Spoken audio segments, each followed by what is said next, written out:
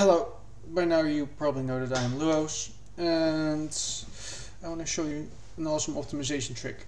I was talking to Christian on Slack about particles and he showed me some content from some other person's project which actually made me think, hey, that's a nice optimization technique, so I'm going to show it to you. Let's say you have this whole circle and that will be about, now let's see, um, the whole circle is what size?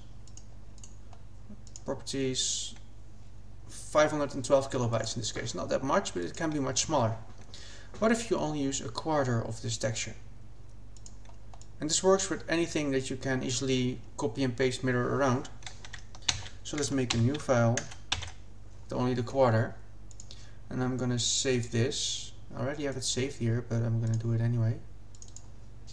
Okay, saved it as a PNG. And this version is only 129 kilobytes. So that's actually massive drop in memory size, file size. And now let's open it in Unreal Engine 4. I'm going to go to the content browser. I already have it imported. I'm going to show you what I did. After importing, I actually set this to mirror.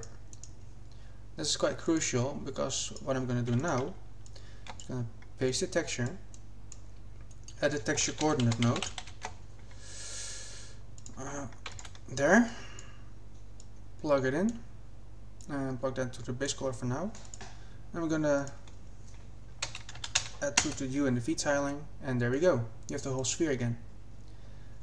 This can be handy for two things. Either one, uh, smaller file sizes, or what you could do is actually have the same 512 kilobyte texture, only use this quarter and add way more detail to it.